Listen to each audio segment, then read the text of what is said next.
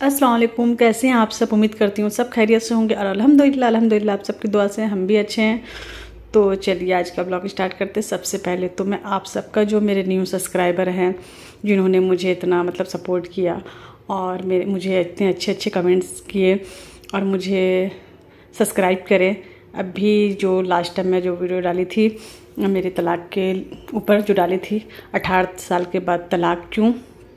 तो उसमें अल्हम्दुलिल्लाह, बहुत अच्छा व्यूज़ गया और लोगों ने मुझे बहुत सपोर्ट किया। इसलिए मैं तहे दिल से आप सबका शुक्रिया अदा करना चाहती हूँ कि मैं सोची नहीं थी कभी मतलब आप सब मुझे इतना प्यार देंगे, मुझे बहुत अच्छा लगा। आप सबका इसी तरह प्यार चाहती हूँ, मैं हिम्मत बने रहेगी मेरी। तलाक के बाद मेरी ज़िंदगी तो ऐसी लगी थी कि किसी भी लड़की की हो। और जो तलाक एक जो वर्ड होता है ना, बहुत अल्लाह किसी दुश्मन के साथ भी ना हो और अल्लाह पाक को बहुत मतलब ना, अल्लाह पाक को एकदम नापसंदीदा वर्ड लगता है ये। अल्लाह पाक को हलाल है ये। लेकिन नापसंद है। तो इससे कोशिश करना चाहिए इंसान को बचने की, लेकिन आज के टाइम में, आज का जो दौर चल रहा है, इसमें बहुत मुश्किल है बचना और बहुत अल्लाह सबकी हिफायत फरमाए। इस चीज़ से हर लड़की को बचाए बट ये बहुत तेज़ी से फैल रहा है और तलाक के बाद लाइफ ना बहुत अलग हो जाती है। आप डिप्रेशन में चल जाते हैं। मेरा हाल जो था ना, मैं बता नहीं सकती कि ये सब कुछ कैसे फेस करी हूँ मैं, कैसे झेली हूँ इतना कुछ अकेले, वो भी बहुत मुश्किल दौर से गुजरी हूँ मैं। उसके बाद से मुझे संभलने में ना बहुत टाइम लग गया और अभी तक मैं इतना अच्छे से नहीं, अभी भी सोचती हूँ ना तो मुझे बहुत दुख होता है बहुत ख़राब लगता है कि क्यों क्यों? बस बस ये एक सवाल आता ना कि मेरे मन में कि क्यों अट्ठारह साल के बाद ही क्यों? साल, दो साल में होता ना इंसान को तो समझ में आता है, मैं इतना लेट कैसे करती डिसीज़न लेने में? मैं क्यों हुआ मेरे साथ ऐसा कभी कभी लेकिन नहीं करना चाहिए ना, बोलते सवाल। हर चीज़ में अल्लाह की मसलियात होती है। तलाक हुआ, ज़िंदगी ख़त्म थोड़ी ना हुई है, फिर अपने आप को संभालती हूँ कि नहीं, तलाक होने से ज़िंदगी ख़त्म नहीं हो जाती है। तलाक ही हुआ है। आगे ज़िंदगी है। ज़िंदगी कहीं से भी शुरू हो सकती है। तलाक के बाद बहुत ज़्यादा कि मैं क्या करूँगी, कैसे करूँगी पूरी लाइफ? और बच्चों को देख करके, बच्चों को सोच करके बहुत ही मतलब मतलब बता नहीं सकती अपनी फीलिंग्स कि मुझे कैसा लगता था, मैं क्या सोचती थी। मुझे एकदम ऐसा लगता था, क्यों, बस ये लगता था, क्यों? फिर अल्लाह पाक सब्र देते गए और सब्र आते आते आ ही जाता है ना। वक्त के साथ धीरे धीरे धीरे धीरे इंसान को सब्र आ ही जाता है, कितनी बड़ा मतलब तकलीफ़ हो, क्यों ना हो, लेकिन वक्त जो होता है ना, बहुत बड़ा मरहम होता है तो आ जाता है। लेकिन कभी भी उसकी एक, जो रहती है ना, कहीं एक कोने में चुभन जो इंसान अपने अंदर दबा के रखता है, अपने दर्द को तो वो कभी ना कभी बाहर आ ही जाता है। तो बहुत मुश्किल से यहाँ तक लाई हूँ, संभाली हूँ मैं अपने आप को। और आगे आप सबका सपोर्ट चाहिए, मुझे प्यार चाहिए। इसी तरह ज़िंदगी में मैं ना कुछ, अब ऐसा लगता है ना मेरे, मैं कुछ करना चाहती हूँ अपने लिए, अपने बच्चों के लिए, खुद के लिए। अब ऐसा लगता है मेरे लिए कोई भी नहीं, मेरा अल्लाह के सिवा मेरा कोई भी नहीं इस दुनिया में।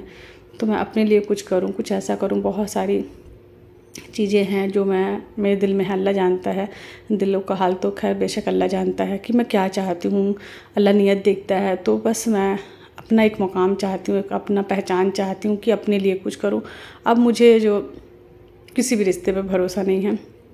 बस अपनी ज़िंदगी ना अकेले ही अपने बच्चों के साथ अल्लाह का शुक्र अदा करके जीना चाहती हूँ। हाँ ये दुनियादारी है। इसमें इंसान हर हाथ पे हाथ धर के बैठ नहीं सकता। कुछ ना कुछ तो इंसान करेगा ना, अपनी लाइफ के लिए, अपने लिए कुछ सोचेगा तो बस सोच रही हूँ मैं भी बहुत कुछ कोशिश भी करती हूँ बट नहीं हो रहा है। और मतलब नहीं हो पा रहा कुछ भी ना तो फिर भी मुझे एक यकीन है कि अल्लाह पे कि अल्लाह नहीं, बेहतरीन करेगा। बेहतर नहीं, बेहतरीन, बेहतर से ही बेहतरीन करेगा अल्लाह पाक। इसलिए ना मुझे अल्लाह पे बहुत यकीन है कि नहीं तलाक ही हुआ है, ज़िंदगी ख़त्म नहीं हुई है, ज़िंदगी अभी भी है। अगर जब तक इंसान ज़िंदा है, तब तक इंसान को उम्मीद रखनी चाहिए। अच्छा अल्लाह से अच्छा गुमान रखना चाहिए। और ऐसा होता ना कि कई सारी लड़कियाँ जो होती हैं तो जिसकी तलाक हो जाती है, वो ऐसा सोचती तलाक के बाद ज़िंदगी ख़त्म हो गई, हमारी ज़िंदगी अब कुछ भी नहीं है। तो ऐसा बिल्कुल भी नहीं। हाँ हम टूट बहुत जाते हैं, हम डिप्रेशन में आ जाते हैं। बहुत मुश्किल होता है वहाँ से फिर से अपने आप को वापस स्टैंड करना। और समझना बहुत मुश्किल होता है। ये हर किसी के बस की बात है भी नहीं। इंसान बहुत कमज़ोर होता, औरत तो और भी ज़्यादा कमज़ोर होती है। और गुस्से में भी आ जाता है तो कमज़ोरी है वो। तो औरतों के लिए और भी मुश्किल होता है। आदमियों के लिए कोई मुश्किल नहीं है। उसके लिए तो अल्लाह ने इजाज़त दे दी है तीन चार सारी तो वो तो बहुत बिंदास रहते, खुश रहते हैं। लेकिन हम औरतों को ना बहुत अपने बच्चों को सोचना पड़ता है, अपनी लाइफ के बारे में सोचना पड़ता है कि हम सबसे पहले तो अपने बच्चों का ख्याल आता है। उनके लिए, अपने लिए सोचने से पहले ऐसा लगता है कि अपने बच्चों के बारे में सोचें। तो मेरी भी ज़िंदगी ऐसे बच्चों के साथ गुजर रही है और भी मैं आप सबको बताऊँगी कि आगे मेरी लाइफ में क्या होगी, मैं क्या सोच रही हूँ। बहुत सारी बातें हैं जो मैं करूँगी आप सबसे। तो बस बस हो गया अब जो होना था वो हो गया, अब उससे कोई रोक नहीं सकता है। जितना रोकने की कोशिश करी मैं करते करते अठारह साल निकाल दी। अगर बचना रहता, रिश्ता तो बच जाता। इतने साल के बाद नहीं बचा मतलब नहीं था मुकद्दर में कभी कभी चीज़ ना कुछ चीज़ें ना आपके इख्तियार में होती नहीं है।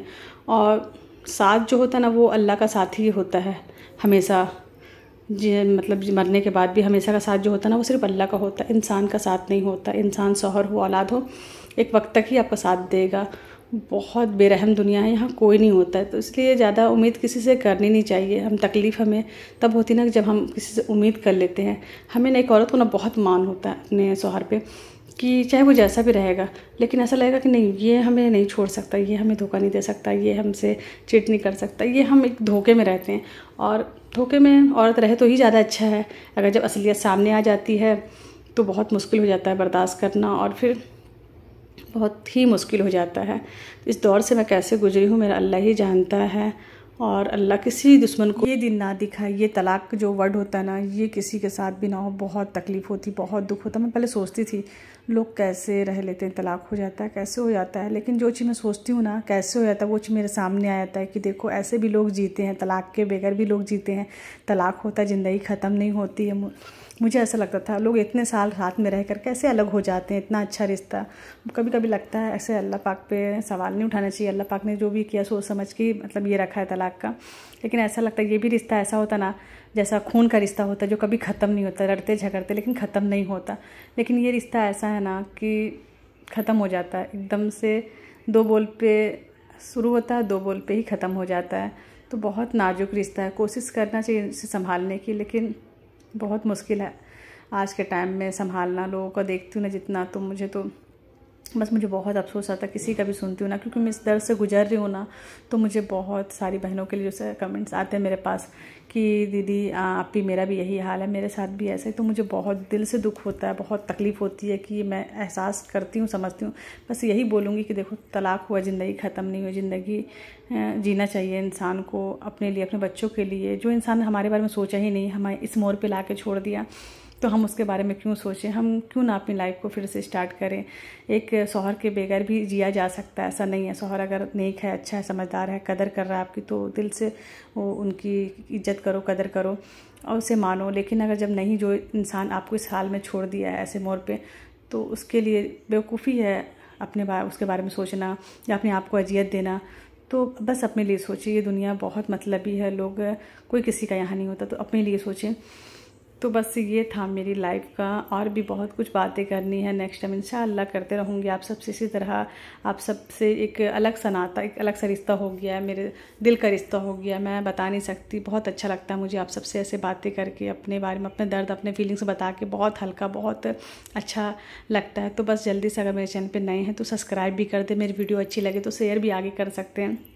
मुझे बहुत अच्छा लगा, मुझे इस तरह से बहुत आप सबका सपोर्ट मिलेगा तो इन ज़िंदगी में मैं आगे आप सबका दुआ और प्यार रहेगा तो बहुत कुछ करना है। टूटी हूँ, हारी नहीं हूँ अभी तो चलिए अपना और अपनी फैमिली का बहुत ज़्यादा ख्याल रखिएगा, मुझे दुआ में याद रखिएगा। अल्लाह हाफिज़।